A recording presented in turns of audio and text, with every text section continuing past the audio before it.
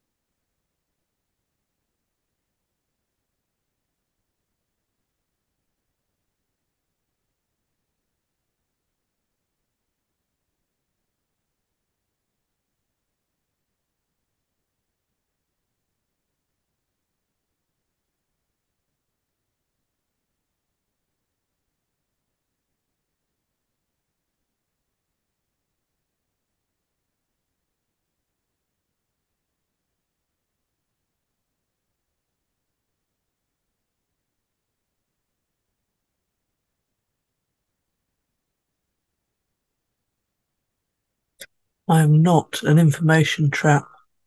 Information trickles out the way the moon reflects photons.